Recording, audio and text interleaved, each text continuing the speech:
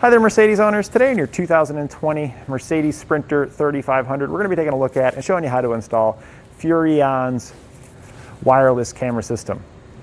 Now I will say with this system we are going to need quite a few additional parts in order to get it installed. You'll probably want to pick up a set of butt connectors. Uh, you'll need some ring terminals. You're going to need quite a bit of wire. And we're also going to be using Tekonsha's universal wiring kit to give us the necessary signals to actually power up and utilize our camera. The Mercedes here does not like to play well with the system, so you're going to set some lights in your dash if you just try to hook it up to its existing wiring. But if you follow along with us, we're going to cover the things that you need and how to get it hooked up. So get ready for an adventure. And this is what our camera system looks like. You can see our display here. You do get two mounts that come in your kit to have a couple of options on how you want to store it on your motorhome. On the back side here, you can see the ball where we can choose which mount uh, we want to insert into it. You'll have your window mount, which has a suction cup on it there so you can attach it to the window. And you also have a just a kind of flat platform mount. We're going to be using the platform mount for demonstration purposes here. So we're just going to snap that into place and then you can see here we can set this right on the dash. Our monitor here is powered by a auxiliary outlet, just like your cigarette lighter style outlet. You just plug that in there to power this up. There's three cameras that come in your kit. You'll get a two side cameras and a rear camera, and there's a option to add a fourth camera on here if you wanted to purchase an additional one. Here we can see the four cameras, uh, the three cameras, I'm sorry. You, the backup's there in the center, and we've got both of our sides. The sides are nice because if you're driving a bigger motorhome or RV or anything like that, or uh, even a trailer, you haul in a big trailer, when you go to merge onto the highway or change lanes or anything like that, there's a lot of blind spots that runs down the side of your vehicle, and it can be difficult to to ensure that there's nobody there. So we can utilize these to give us a visual behind us when we're backing up, as well as both the left and the right side of our motorhome.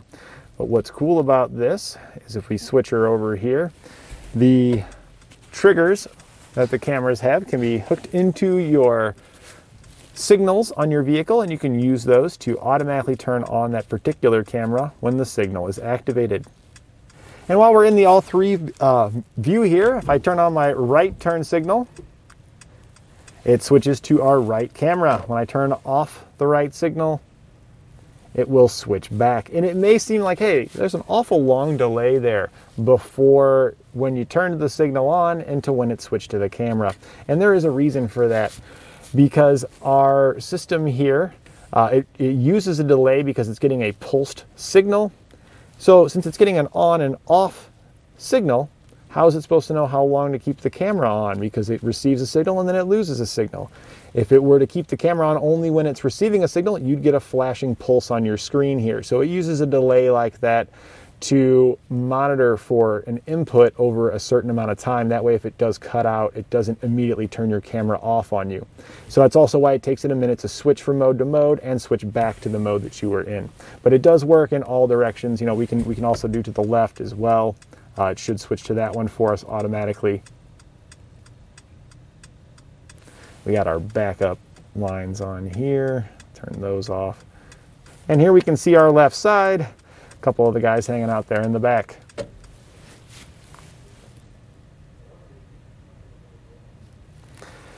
This is a full color display and there is a button on the right here that does give you some options where you can pair your cameras, add the additional one, change which camera they are. If you don't like the left side's on camera two, the right side, you can change all those positions. Uh, it's only going to stay in the menu for so long and then it comes out. It's a touch screen, so you can press those to pick them. Pictures where you can adjust.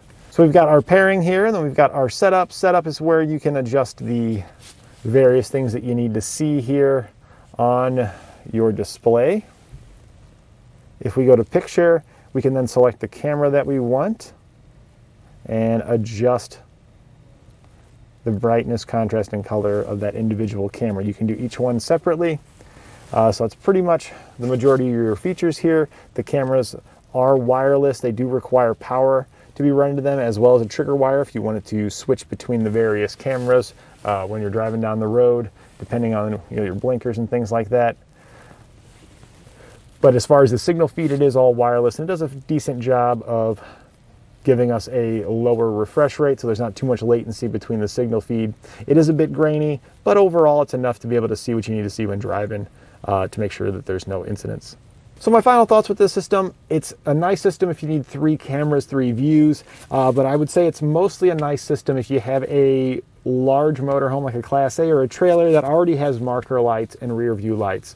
This kit was specifically designed to work with those type of vehicles, so that's why it's in the shape that it's in to make it easy to install because you're just supposed to remove the lights that are on there and put these in place. It uses the same power circuits to power it all up. This Mercedes here doesn't have that, doesn't have the lights or anything. So this is actually probably one of the most difficult kits of camera systems to install on here because it was not designed for this motorhome.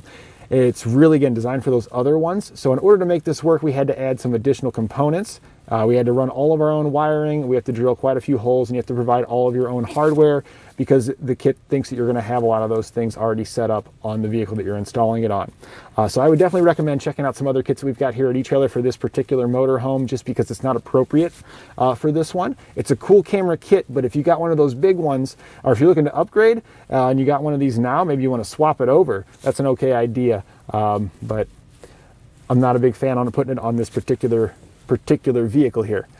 Um, that's kind of my final thoughts on it. Our customer wanted this one and it, it is installed on there. Uh, so if you're paying somebody to do this and you don't have to go through all the work that we did, it's probably a nice system here at the very end because our customer is going to get exactly what he wants, all three cameras in one display. It, but if you're going to do this at home, just keep in mind that you're probably going to be spending a lot of time on this uh, to get this installed because of all the extra work that you have to do. And the labor to me factors into the cost. So when you put in all the extra work that was required to do this, that puts the cost of this camera system probably quite a bit above uh, any other camera system that we've got offered here if you, if you think about the labor you're going to be doing as, as a dollar amount. We'll begin our installation here at the front of the vehicle. Our Mercedes here doesn't provide us with the necessary circuits that we need to operate our cameras, so we're going to have to add our own circuits and run our own wires for this. This camera system is really more set up for your larger trailers and your Class A motorhomes that already have marker lights and things like that so you can utilize existing wiring. We don't have that on our Mercedes motorhome here, this Mercedes style one. So we're going to be, again, adding our own. We're going to use Tekonsha's universal splice wiring kit to give us a four pole connector for like a trailer. And we're going to use all the outputs from that to operate our cameras. So we mounted our module over here on the passenger side. And the reason we're using this module is because if you try to tap directly into your Mercedes uh, lights here to get your turn signals and the power that you need from the running light circuit, it's going to set a light on your dash saying to check your bulbs because you're going to be drawing additional current off of these circuits and it knows that. It, it monitors that to determine if there's any kind of circuit faults or shorts. And excess current could indicate a short, so the system shuts it down. So that's why we're installing this module here to give us an uninterrupted power supply that's completely separate from the computer systems here on the vehicle, so it's not going to determine that there's an issue with the wiring because uh, we, we're adding these parts. So we just zip tie it right here to get it in place. You've got several wires coming out of the bottom here. The main focus is with the yellow, the green, and the brown. The yellow wire is our driver's side turn signal. So we're going to route this over toward the driver's side towards the headlight assembly up here so we can uh, get our signal from there. The green wire is the passenger side, so that goes right here to this light. And the brown wire is your tail light circuit, and that can go to either one. We can get tail lights from either of the lights. And the reason why this isn't going to set a code or set anything on our dash is because this module doesn't draw any current. It's actually just monitoring to see if there's any signals on the vehicle here present. And if there is, it reproduces those signals out the four pole, giving us the proper signals we need that's not going to affect any of the circuitry on the vehicle. So you can see the green wire here goes right over to our connector. Our factory connector is right here where it comes out of the tail light.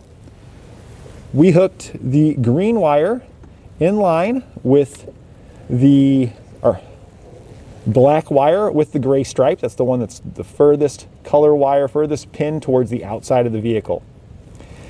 We cut the wire, we stripped it back, and we put a butt connector on it, adding our green wire with that so it's able to get those signals. Our brown wire, since our module's on this side, we went ahead and connected the brown wire to this side, and that'll hook to the top wire here on the opposite side, the opposite corner of your connector here. And this is a gray wire with a red stripe. And again, we just cut the wire, stripped it back, and put our butt connector on there. We had to peel back some of the insulation to be able to do so. Now, the yellow wire on your module here is actually the is a short wire, and your green wire is really long because typically this module is installed on the driver's side, but all of our, our battery, our circuitry and everything is over here on the passenger side. So to minimize wire lengths, we use this extra long green wire that we had. We cut off most of this green wire after we connected it to our light here and use that excess to extend our yellow wire over to the driver's side. So we're just gonna follow this real quick. And you can see right there, there's where we put our butt connector. We're using heat shrink butt connectors. We'll, we'll shrink all these down to make sure that no corrosion can enter them. And then it just becomes green here because we needed to extend it and we can use the wire right there from our kit to be able to do so. Get it over here to the driver's side. And we tap into the, basically the same wire over here on this side. Uh, it's the same pin number. It's a different color over here. It's black with a white stripe over here, but it's that pin that's closest to the passenger side. So on this, on this side, it's gonna be closest to the inside. On your passenger side, this is the wire closest to the outside of the vehicle. So now we've got all of our lighting signals wired up to our module here. We need to get power and ground to it to make it work and send out its signals on the four pole. The white wire here is your ground wire. It has a ring terminal that's pre-attached to it. We use the self-tapping screw that comes included with our kit to just run it into the sheet metal located right here. And that will give us our ground. Our power wire is the black wire coming out of our module with a red stripe on it here. You see it's black with a red stripe. That's the power wire. You're going to get a big bundle of black wire in your kit, and we're going to attach that to it. Again, using heat shrink since we're outside. And this black wire then is going to route towards our batteries. And we route this towards the coach batteries on our motorhome here, located under the steps. So here's the other end of our black wire that we routed, uh, just underneath the vehicle here. Uh, this is your step. This is where you find your batteries. This step just pulls off so we can access them. We crimped it to the fuse harness that comes in your kit. So this is just looped when you get it. Just cut your fuse harness in half there, strip back one side and use a butt connector. We're using yellow here instead of the blue because this is a little bit thicker gauge. It's easier to work with. On the other end of our fuse harness, we crimped on the ring terminal that comes in your kit. You get a couple of different sizes so you can choose the one that's best for your battery. We use the, uh, the slightly smaller one than this. After you've got that connected, you can insert your fuse. We've got ours currently out of it and then you can test your four pole connection to make sure it's working properly. Now we've already tested ours and we know it's working properly, so then we routed our four pole connections very similarly to this. We routed it pretty much following this black wire until we get down underneath. From there, we can branch it off towards our cameras where we need to, to go to our cameras. We're gonna come back to this later though, because we, next we're gonna need to mount up all of our cameras so we know where to route our wiring to. But we needed to do this step just to get the necessary wires to operate our camera. So here's our camera. Time to get these guys mounted up. The side cameras are going to be side specific. You can see the Furrion F there. We want the F to be upright so we can tell that it's the F, and that's how you know which side you got. The camera will then point towards the rear. So it would normally replace one of your side marker lights, but again, this motorhome's so small it doesn't have any side marker lights, so we're gonna add it. And we're gonna be putting it in about this position right here staying underneath uh, any moving components. So we're gonna stay below our slide out here to make sure we don't accidentally interfere with any of that. Another reason why we chose this location here is if we open up our compartment, we can actually see in here and see that there's nothing on the other side, which makes this an ideal location for, uh, for mounting this component. So,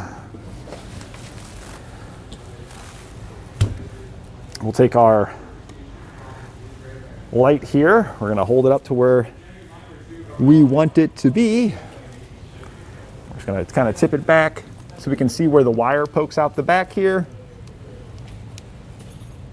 And now that I know where the wire pokes out, I'm gonna make a little mark there.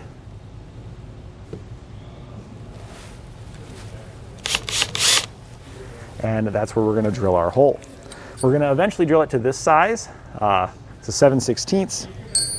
You could go up to half inch, anywhere in there is probably fine. I, the reason why we're going larger is obviously our wire is going to be able to pass through there, but once we put butt connectors on this, it's easier to make the connections here on the outside than it would be in there so we can pull our wires through, make our connections, and then push those butt connectors back through. But you need a hole large enough to be able to fit the butt connectors. So that's why we're going with a larger size hole than what our wires would just require by themselves. We are going to do a pilot hole first. So we're going to switch to a smaller bit, like an eighth inch or somewhere around there. This is bigger than an eighth. This is about a 3 sixteenths, but anywhere in that location, just so we can get us a small hole that if we need to fill, we could fill and verify this is going to come out where we want it to on the other side.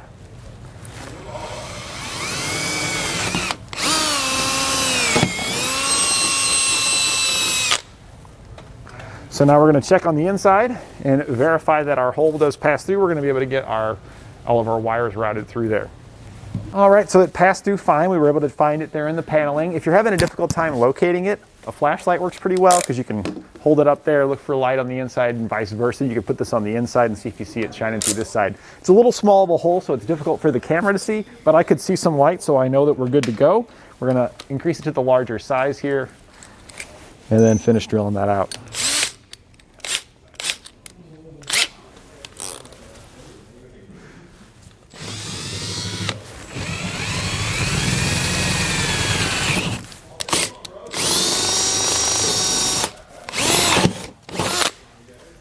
And I'm just gonna show you the light trick just so you can see it. It was hard to see with the smaller hole, but now we got the bigger one there. I've got my light pointed away from it.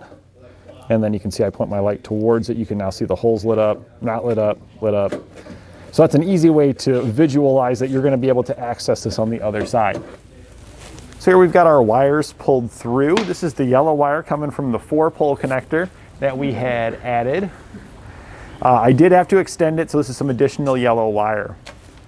This is the brown wire from the harness that we added. Again, I had to extend it. Uh, we didn't have brown wire laying around, so we used black wire to extend it over here.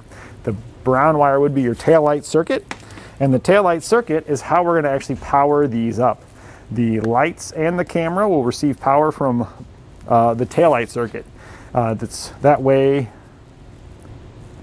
the camera is able to receive a like a blinker function and not turn on and off. It's going to stay on solid thanks to the tail lights. You could wire this to an ignition source, but if you were to do something like that, you would have to run additional wires uh, for that as well. And which wouldn't be too bad for these side cameras, but running an additional accessory powered wire for the rear camera is probably going to take you longer than this entire install just to get that one wire run. Because uh, it's very difficult to get wires routed throughout the walls inside your motorhome and stuff, especially if you're going all the way from front to back. So tail lights will make us, save us a lot of time and work out well for us. So now we got this over here. I'm actually gonna leave some of the excess here and bundle it underneath because uh, when routing the wires, we there are some components that we're close to that we want to avoid. So by having some excess here, I can pull this through, make my connections, pull this back down, and then keep the wires clear of anything that could cause it damage, like your exhaust or moving components like suspension or steering. So we're just gonna strip this back now. We're going to start with the black wire, which is again our brown wire connected to our four pole. It's just an extension. So this is our tail light circuit. You can look at it that way. Our tail light circuit will connect to the power as well for both the camera and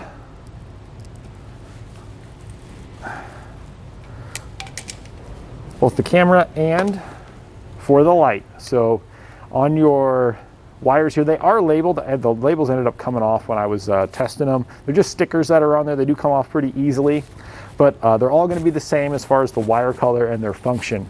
Yellow for all your cameras is going to be the trigger wire that's going to tell the system, hey, you, uh, you want this camera right now, display this camera full screen. The brown wire is for your lights, and it's brown because that matches the running light circuit because it's supposed to be a running light. The red wire is the power feed for your camera. So we just twisted that along with the red wire so we get power for the camera when we turn our running lights on. And the black wire here is ground and it's gonna be the same for all three of your cameras. They come pre-stripped like this and you got a lot stripped on there. So we're actually gonna strip, or we're gonna snip off some of that excess to make it a little bit more friendly in play with our butt connectors. So our wire here, this is our tail light circuit. That's going to go to both the red and the brown. Slide those in there. And we'll grab our butt connector with our crimpers and crimp that on down.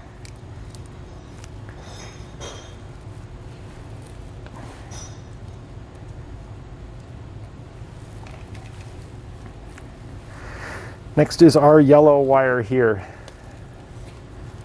And we're going to strip this back. This is the turn signal for the driver's side or the left turn signal. We're going to wire this to the trigger wire so that way when we turn on our turn signal, it tells our camera here to activate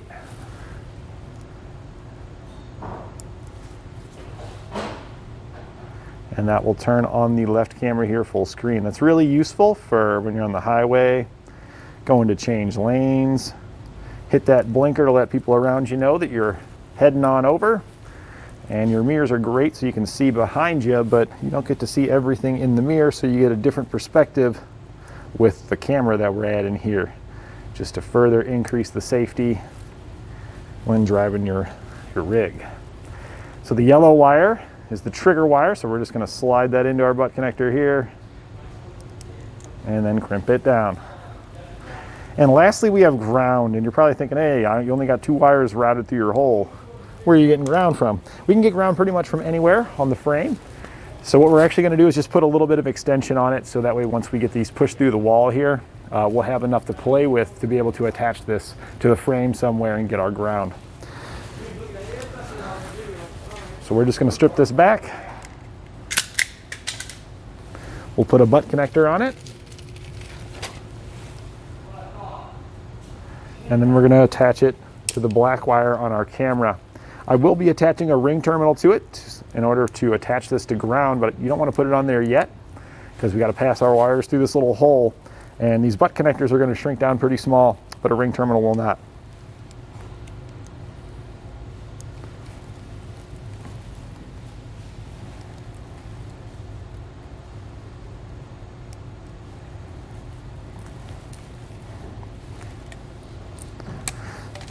All right, so now that we've got all of our connections made, I'd also hold off on stripping this back because that'll make it more difficult to push it through.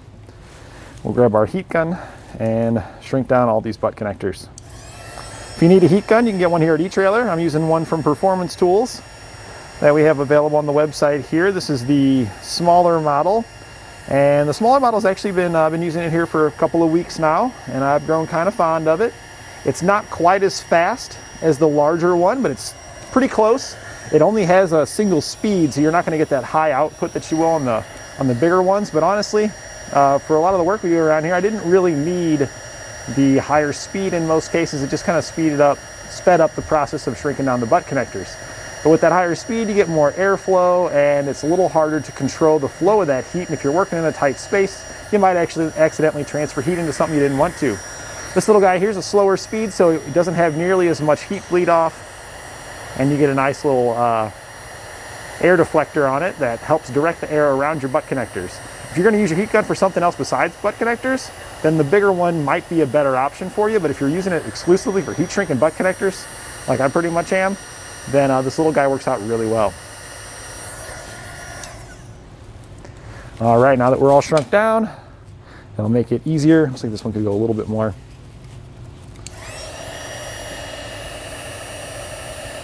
We want them to be shrunk down there on the ends to make it easier to pass through the opening we've got up here. So those will just slide on through there. Sometimes it's wants to be tricky. There we go. This is actually like a two layered piece here. So if you're pushing it and it feels like you got resistance the whole time, there's a good chance you're feeding your wire in between the two uh, walls kind of up where your insulation would go. So uh, maybe pull it back out, recheck. It should slide through nice and easy if you got it lined up properly. And there we go. Might have to reach underneath to pull it. Looks like we kind of got probably a little bind. One of our wires probably just coiled up a little bit, so it's stopping it. We should be able to reach around the other side though to kind of move it around to get it to pull all the way through. So yeah, after we reached around the other side, we were able to pull those through and get it flush here. Now the next thing we need to do is there's two screws here. We're going to remove these two screws. And they're very small, so try not to lose them. After you remove the two screws, this piece will slide off of here. That'll give us access to the four screw holes that we'll need to attach it. You'll have access to these two right away, but these two are hidden behind the uh, camera there. So that's why we had to pull those out to be able to access it. So now all we need to do is run some self-tapping screws in. You do need special self-tapping screws. They need to be button head screws so that way they don't stick out too far. And that's primarily for these two here. But you also need button head screws because these deep holes here, while you could fit a hex head screw in there, you're probably not gonna be able to fit a socket in to be able to tighten it down. I do sometimes, after taking these screws out and sliding it off, for these two screws here on the other side, I like to start with those and I'll actually slide this back on just for a moment. You gotta get it lined up on there. And the only reason I'm sliding it on is just to make sure when I mount it that I'm gonna be below the slide out or anything here. I'm not accidentally gonna put this in a location where uh, something's gonna collide with it. So we can see it's gonna clear fine there. We're flush up against the side. We're gonna grab our hardware now and just start running it in. So slide it in. Here's a better look at the self-tapping end there. That's required because there's sheet metal behind here. So a regular screw head's not gonna go through it. And then when there's that button head, that is pretty much a necessity for these. The reason why you have to provide your own hardware here is because this kit's designed to be replacing an existing side marker light. Uh, this motorhome doesn't have it, so you won't have any hardware to reuse. We're gonna get one screw in, and after you get the first screw in, we can use this as our pivot here to get this level. And we're just using the body lines. So that way, because you know, if, if you try to use an actual level and you're not on level ground, your motorhome might not be perfect. So try to find a body line and just follow that. That way it's all uniform with the vehicle. That looks pretty good. So we're just gonna grab another one, run it in down here. And then we can slide that off. Grab our remaining fasteners and run them in here.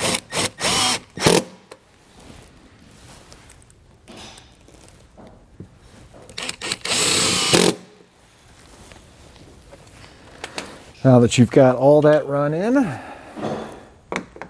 we can slide our camera back into place and reinstall those two little screws that we had removed.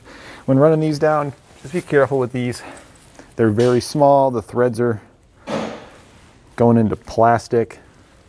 So I'm using this gun here, but we're barely gonna put any power on it when we go to run it in because these can strip out really easily. And that's all we want to do, and we'll just run the other one in right below it. After you got all your fasteners back in, your cover here just clips right onto it. And it actually comes on there when you when you pull them out of the box. You see that slot at the top? Uh, we didn't show you how to remove them, but your screwdriver just goes in there and just give a little twist. You can actually just pull them off of there too, but it's pretty hard to pull it off by hand. It's possible, but difficult. So we're going to repeat the same procedures on the other side to get that one mounted up and wired. We'll head underneath now and we'll get that ground hooked up that we still got dangling. So here's our ground wire right here. We're gonna go right into this cross beam here to get our ground. So we're just gonna strip it back. We're gonna grab ourselves a ring terminal. And all these ring terminals and butt connectors and stuff we're using, you don't get these in your kit. You can get these here at E-Trailer. Uh, if you're doing any kind of butt connection here outside the vehicle, I definitely recommend those heat shrink ones I've been using. If we had any connections we needed to make in the vehicle, we could use regular ones, but for our camera here, for the most part, we're going to be exposed to the elements here on the outside. But you can also get the ring terminals here as well. We're just crimping on this small one here. And then we're going to switch over to a self-tapping screw. We can use a hex now since we're not confined by the space measurements that we had on our camera. And you can run it through the ring terminal first or run it up. I always like to start my self tapper first and then put it through the ring terminal. Sometimes you're fighting it and dealing with that wire, and we can just get this going, you know, and then pull it back out.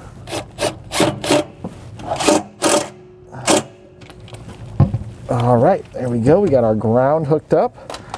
So we're going to repeat the same process on the passenger side. We're going to be zip tying up these wires here.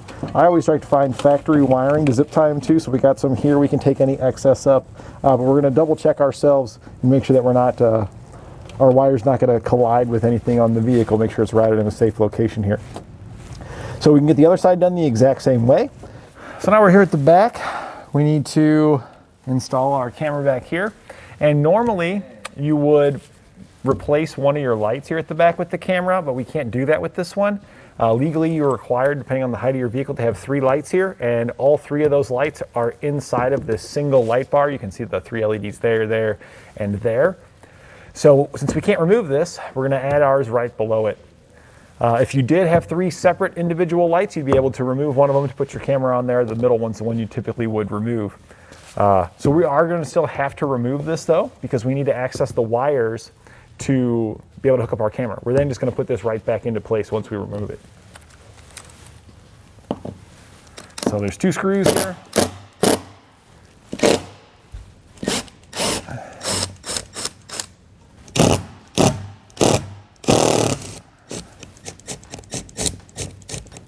So now we can get our light off of here. Sometimes you can just push up and kind of peel it off of there. Motorhomes uh, manufacturers typically don't seal them all the way around very well. They just kind of seal the top pretty well. Uh, but we weren't able to push it off, so if that's the case, you can grab a trim panel tool here and just kind of push it underneath of it there and start working it out. And on the top, they went fairly heavy here with the sealant. So what we can do is we can swap from our plastic trim tool on the bottom and around the sides there. And on the top here, we can run our razor knife along the top to cut that thick seal.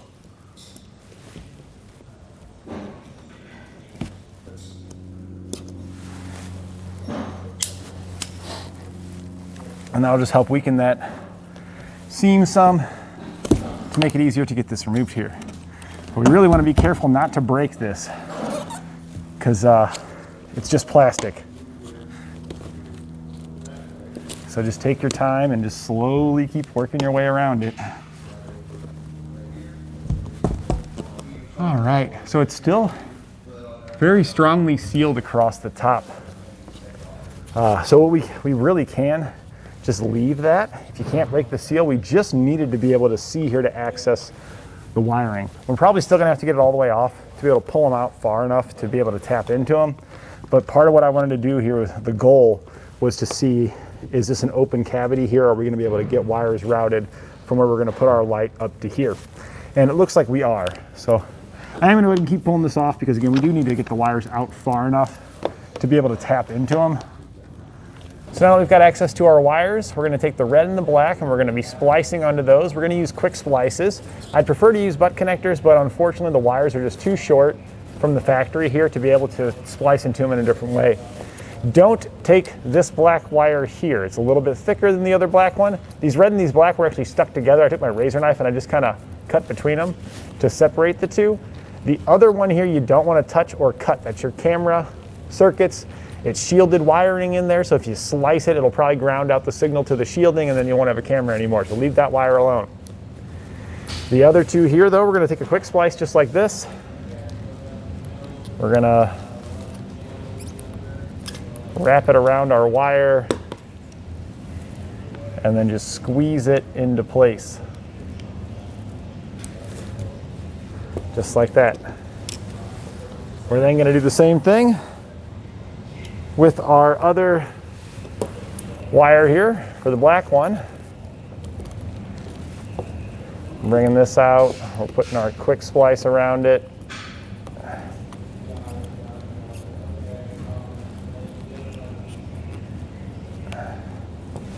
and then we're just going to squeeze them together.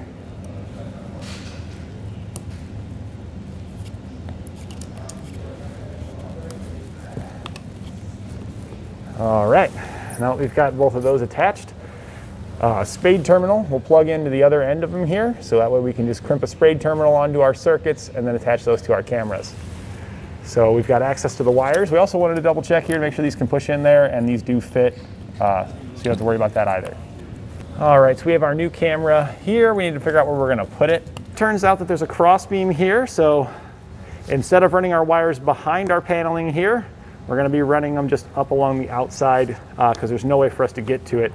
There is an option that you have. You could completely replace this light bar, but if you did replace this light bar, you'd have to add two additional lights to it in order for it to work. So we're gonna just kind of hold this up here then. We're gonna run our lights along the outside. I'm gonna use the smaller drill bit and we're gonna drill out a pilot hole here right at the bottom just to give a relief for our wires to pass through. We're just gonna hold our light up here where it was then. We're gonna find our hole there. We're gonna give a small relief here at the bottom for our wires to be able to pass up.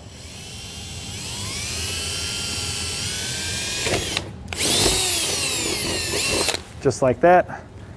And that way when we run our wires around the outside here, we'll be able to seal up that hole. So now we're gonna modify the back seal here so we can route the wires up and over to the camera. So we're just trimming out a section here for our wire to be able to run up. We'll seal it all up with heavy, heavy silicone afterwards to ensure that we don't get any leaks. We're gonna be really thorough uh, since we had to, to modify this here. So we've got that trimmed.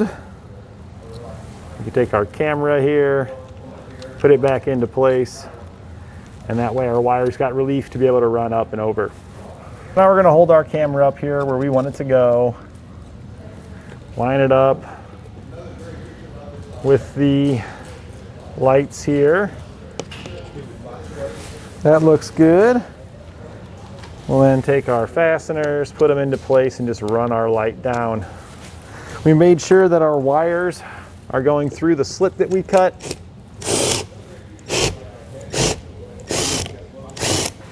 So we,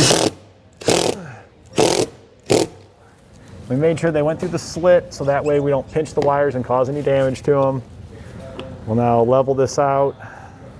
Next looks pretty good right about there and then run in our other screws.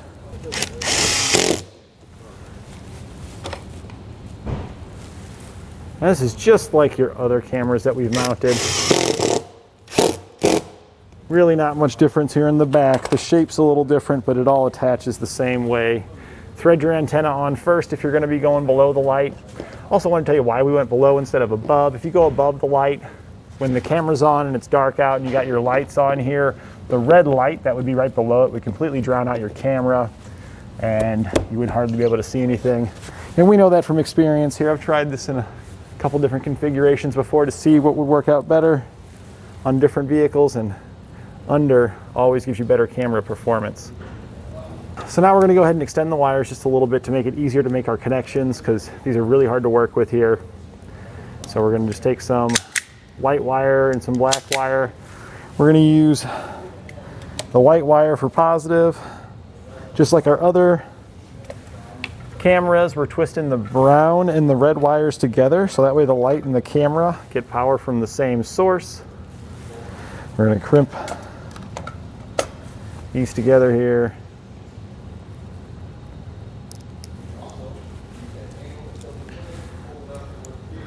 And just like your other ones, there's tons of excess wire, so get rid of some of that. All right, we'll crimp that down. Then we're gonna extend our ground wire. We're gonna use some black wire for that. We're just gonna twist this on here.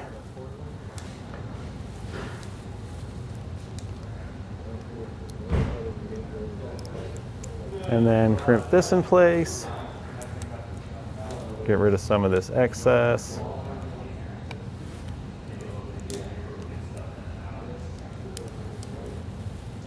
attach the ground.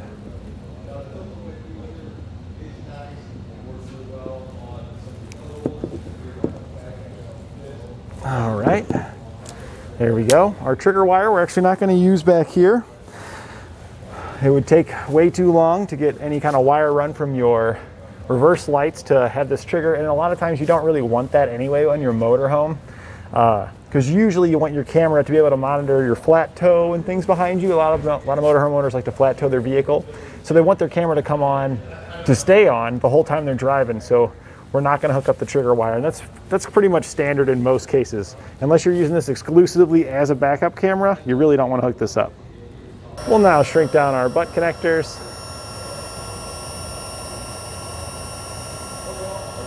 We'll then trim off the excess we've got here because we're going to be poking some of this excess into that hole there. Uh, but we just don't want too much excess to be there. Otherwise, you're going to have a hard time feeding it all into that hole. Now we can strip these back and then we're going to put spade terminals on these to plug into the quick connects that we put on the factory wiring that's up here. All right. So now we've got those connections made. We can bring these up and attach them. The quick connect with the black wire is ground, so we're going to hook the black wire from our camera to it because that was we hooked that to ground.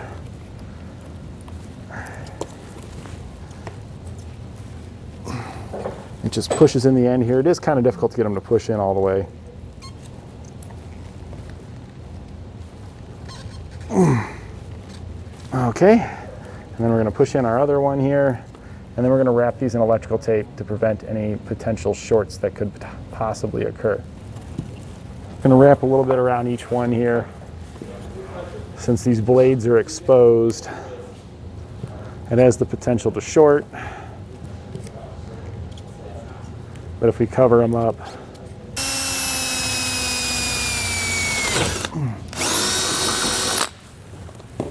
Now we're just going to take our fuse here, we're going to slide it into our tester to make sure it's going to work, and then we're going to go back and and now we got our fuse in here, all of our cameras should work, so we can head to our monitor and make sure it's going to work.